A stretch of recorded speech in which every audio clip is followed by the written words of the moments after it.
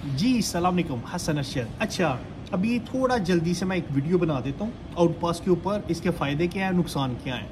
और एब्सकॉन्डिंग और फाइन के ऊपर भी एक यही इसी वीडियो के अंदर मैं बता देता हूँ जल्दी से।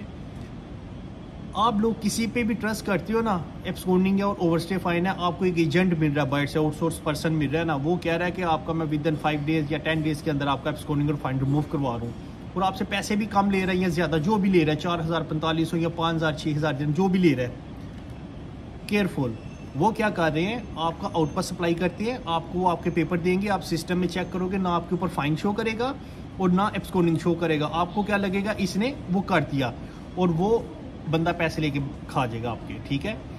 आपका आउटपास सप्लाई करेगा, आप मुश्किल में डबल मुश्किल में आ जाओगे। सेकंड नंबर के ऊपर ये तो पहली चीज़ मैंने आपको बता दी जल्दी से। सेकंड नंबर के ऊपर आप आउट पास का ये है कि आप आउट पास चाहते हैं सलाम आप आउट पास चाहती है ना आउट पास के अंदर सिर्फ़ दो ऑप्शन है।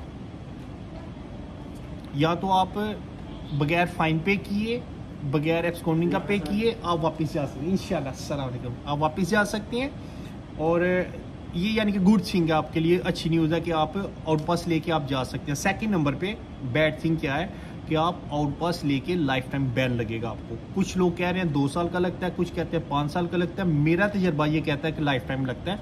उसका काफ़ी ज़्यादा रीज़न है वीडियो बनाऊँगा, बहुत लंबी हो जाएगी।